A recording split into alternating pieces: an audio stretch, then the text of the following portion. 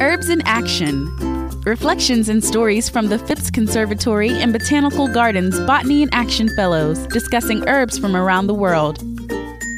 My name's Ryan Unks. I work in rangeland ecology. So I work in rangelands in East Africa, and I'm studying how livelihoods and vegetation have changed and how those interrelate to each other. One plant that's been really interesting to me while I've been working in central Kenya is this plant, Euphorbia tirucalli.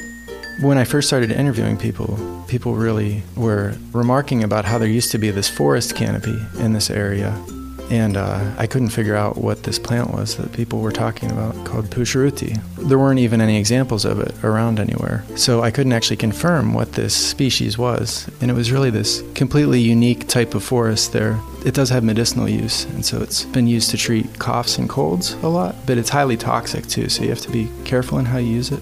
People in this area keep livestock, but they also keep bees. And I guess the honey was really good from this tree. And so it would all flower and like produce this really rich honey. At certain times and the honey was also medicinal too. Could be used to treat colds and coughs. It was also very good for the livestock as well. It would uh, make the livestock really healthy when they were foraging on it but also flavor the milk. So it just disappeared around the early 90s or late 80s I'm not sure, and nobody really understands why. People think that, oh, it might be these camels, you know, because camels are new to the area, and they think maybe the camels ate it all, or maybe the elephants ate it all.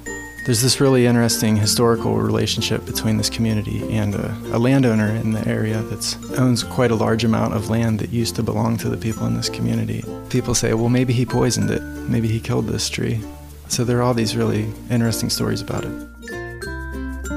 Herbs in Action is a collaboration between Phipps Conservatory and Botanical Gardens and the Saturday Light Brigade and is made possible by the Mary Jane Berger Memorial Foundation, dedicated to educating the community about the many benefits and uses of herbs. To hear this feature again or to learn more about herbs from around the world, visit mjbergerfoundation.org.